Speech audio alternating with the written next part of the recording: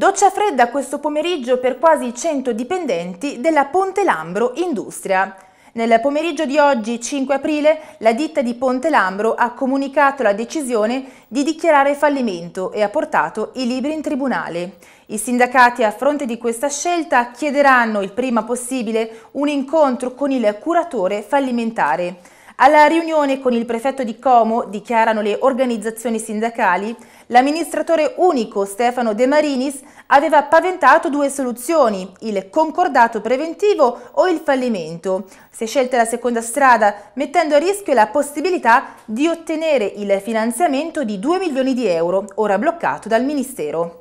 Appena verrà nominato il curatore fallimentare, fisseremo immediatamente un incontro, concludono i sindacati, e chiederemo come prima cosa il pagamento degli arretrati e della tredicesima ai lavoratori.